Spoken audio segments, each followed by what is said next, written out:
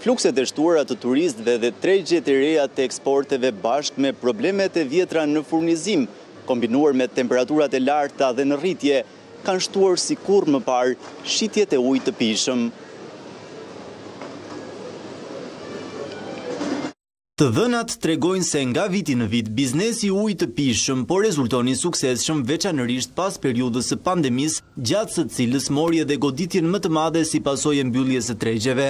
Të dhënat nga Qendra Kombëtare e Biznesit tregojnë se vetëm gjatë vitit të shkuar tetë kompanitë më të mëdha të ujit në vend patën të ardhura në vlerën e nëntë pikë katër miliardë lekëve apo rreth nëntë pikë katër milionë euro.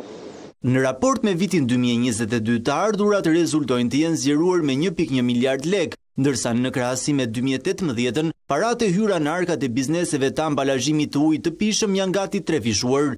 Biznesi i ujit rezulton fitimprurës edhe pas heqjes së të gjitha kostove mbi kompanitë, Vitin e shkuar, tetë bizneset më të mëdha fituan gati një pikë tetë miliardë lekë me kursin aktual të këmbimit mbi tetëmbëdhjetë milionë euro. Në raport me vitin dy mijë e tetëmbëdhjetë, fitimet e kompanive janë rritur me katër pikë pesë herë.